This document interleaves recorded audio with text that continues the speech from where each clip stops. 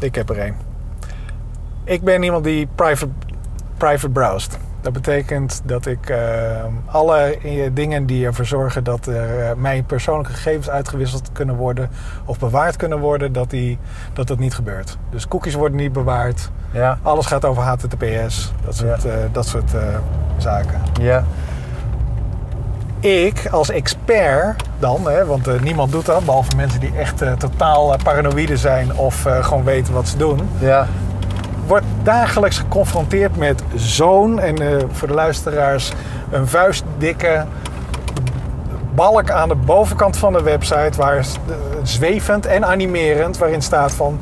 Hallo, wij gebruiken cookies. Cookies zijn goed, want bla bla bla bla bla. Ja. En het wordt, elke keer wordt dat gebruikt. En het grappige is, als je het weg wil klikken, dan wordt dat bewaard met. Cookies. Yay! Ja. Dus raad eens wat er gebeurt elke keer als ik een pagina bekijk. Ja. Cookies! ja, maar ja, goed. Dat is niet de schuld van de mensen die die websites maken. Nee. Dat is de schuld van de legal. En van Ja. browsers. En van het. eh, En van. eh, eh, Maar van het? browsers ook. Ja, absoluut. Hoezo? Nou, sommige dingen vind ik. die moeten in. een pas op voor die mensen die Ja. opspatten. ja, nee, deze ziet er heel erg uit als. eh enfin, zonde voor je bumper. maar. ehm, ik vind dat sommige functionaliteiten veel beter gemaakt moet- moeten worden in browsers.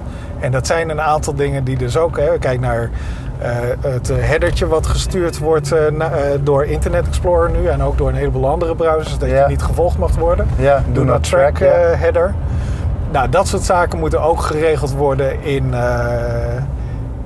eh, voor bijvoorbeeld cookies, maar bijvoorbeeld ook voor het delen van je links... Dat, moet, dat moet makkelijk gemaakt worden zijn, in de eh, browser. Omdat er... Firefox gaat nu zijn standaard Ja, cookies op niet accepteren zetten. ja.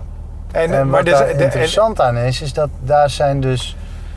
eh daar is die andere hele fijne belangenbehartigingsclub. De club die de belangen van de adverteerders behartigt. die vinden het fantastisch natuurlijk. Die heeft het zelfs als landverraad of zo bestempeld. Die mensen zijn Wow. krankzinnig. Wow. Die zijn, die zijn echt Die wonen echt op een eigen eilandje. Ja. Eh, Anti-Amerikaans hebben ze dat, eh, Dat wordt dat bestempeld. Wauw. Nou is het wel grappig, want Firefox is volgens mij niet echt Amerikaans. Het is een internationaal eh, bedrijf. Maar, Ja. dus echt, dat wordt als... met patriotisme wordt dat bestreden. Eh, Dat is wel heel erg... eh, want in Amerika is dat, eh, dat is zoiets als je moeder eh, is een hoer-achtige opmerking. Hè? Ja. Dat, is, eh, Ja. dat, wordt niet, dat, gaat, niet- dat gaat niet zomaar over één kant. Ja, Nee, dat dat- is wel heel erg raar. Maar, maar mijn punt is dus, dit, dit soort functionaliteiten die, die horen eigenlijk ook in een browser. En er zijn een heleboel Ja. plugins die sl- slimme mensen als jij en ik, of nee, sorry, dat zeg ik verkeerd. Mensen die ervaren zijn op het web en er- erachter komen dat ze sommige dingen liever over alle websites hetzelfde willen hebben, dan installeer je een plugin. En Ja. die regelt het voor je. Ja. Alleen er zijn een aantal dingen die echt gewoon in alle browsers geregeld moeten worden. En ik denk dat daar ook standaarden voor moeten komen. Die soort van attachment op de standaarden, eh, de andere webstandaarden, zoals HTTP en eh, hoe heet het, HTML. Dat zijn document- en documenttransportmiddelen. Ja. Moet het ook zo zijn voor socia- sociale en voor privacy-achtige. er moeten ook protocollen van gemaakt worden waar browsers uniform op aan kunnen haken. Ja, voor, voor, voor sociale dingen is, is er wel het een en ander geprobeerd. Hè, met RDFA. Mhm. opgefokte Audi-figuur. Natuurlijk een mooie tautologie is. Ja. maar dat is heel gezellig. Dus met RDFA hebben ze dat soort dingen volgens mij wel geprobeerd om, om de manier waarop mensen interacteren met dingen en, en dingen opslaan, om dat eh, Ja, eh, ja, om dat op te tot een slaan. standaard van te maken. Ja.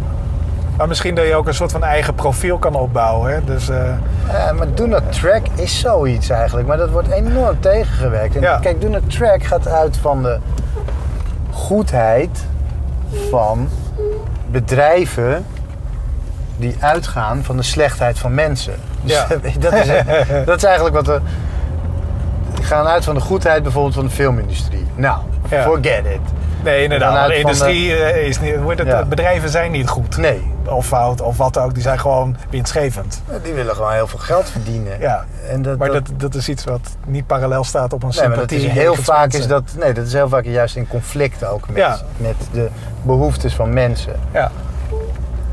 Maar, ja, dus, maar ik denk dat, dat daar, daar moet nog eens goed over nagedacht worden. Want het, is, het wordt steeds urgenter. Mensen, eh, er zijn steeds meer platformen zoals Facebook en Google Plus en eh, eh, nou goed, een aantal andere.